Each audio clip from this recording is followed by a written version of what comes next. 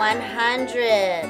Math instruction has changed since Melanie Chavez Nelson was a student. When I first learned it, it was a lot of the algorithms, and well, you just learn this step and you do this step, and then you've got the answer. Well, now we're trying to understand the why behind the what. 10 plus 8. In Chavez Nelson's classroom and others across Nebraska, children are learning in new ways. Okay, that's one way. What are some other ways that you can make 13, Brianna? Teachers involved in the Primarily Math program help kids dig deep.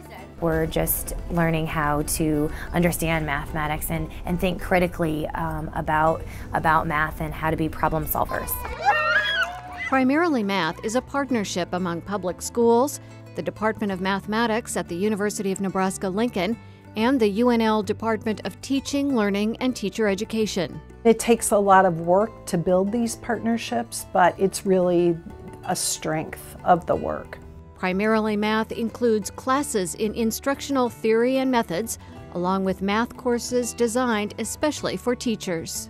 The goal of the program is really to get teachers the background knowledge in mathematics to help build the conceptual knowledge for students and then combine that with pedagogy to get um, a full math experience for students. Well prepared teachers can help students be successful, especially children who are struggling. Should that be a zero right there? The gap between those who are doing well and those are doing poorly starts early.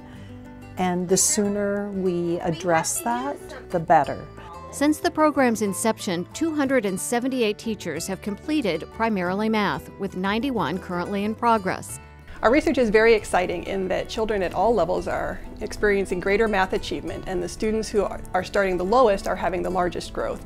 The teachers are also growing in their mathematical knowledge for teaching and in their confidence for teaching. And we're seeing a lot less math anxiety among teachers, which is terrific since we know teachers' anxiety is very contagious for students.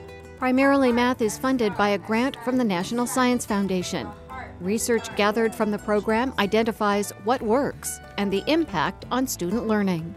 They're becoming more involved in their math, they're talking about it more, they're seeing math more in everyday lives. The instruction is student-led. Students are working collaboratively and using that mathematical vocabulary. So it's been really neat to see their growth as, as learners from when they first come in and, and what they know about math and, until the end of the year. It's because it has numbers, patterns, and every other thing I like.